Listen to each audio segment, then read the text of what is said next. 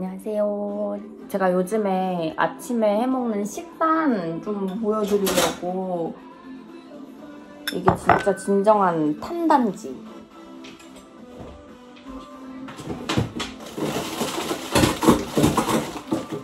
일단 저 같은 경우는 이렇게 고구마 얼린 거를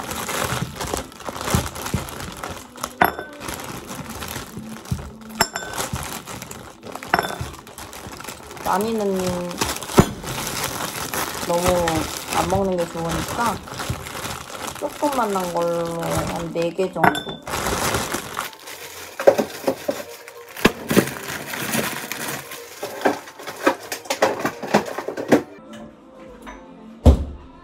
이렇게 4개를 전자레인지에 돌려줍니다.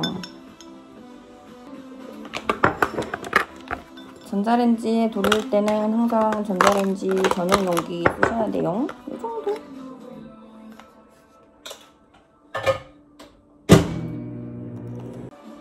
이렇게 살짝 돌려준 고구마를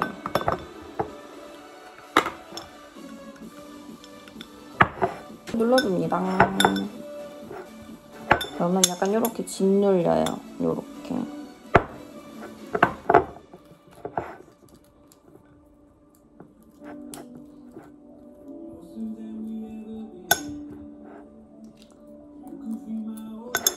이런 식으로 짓눌러 준 다음에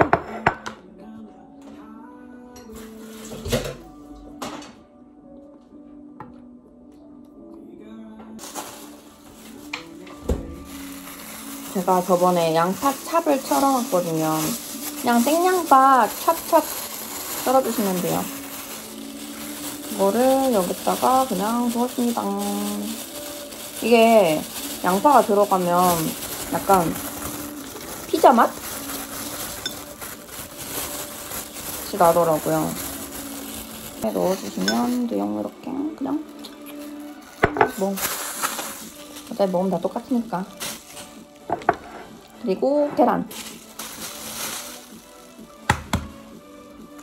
계란을 이 위에다가 예쁘게 올려줍니다.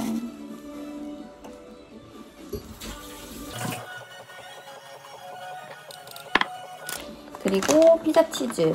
피자 치즈가 이제 지방이죠. 어쨌든. 그래서 고구마, 탄수화물, 계란, 단백질, 그리고 치즈까지 해가지고 탄단지. 치즈는 많이 안 넣는 게 좋겠죠?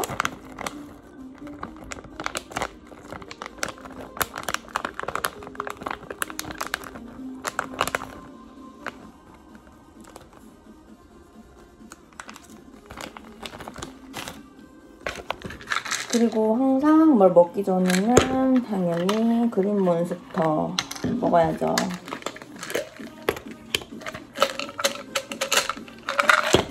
그린 몬스터는 하나씩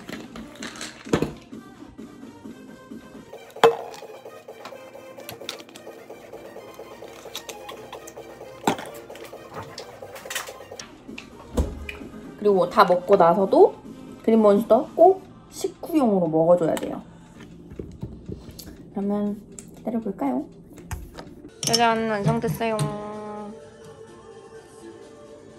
치즈가 살짝 더 익히면 더 맛있으니까 조금만 돌리고 윗버전으로 꽂아랑 하루 아침 식단 짜잔 예쁘죠? 이렇게만 해먹어도 진짜 탄단지 딱 채울 수 있거든요 저는 주로 이렇게 어두컴컴한 데서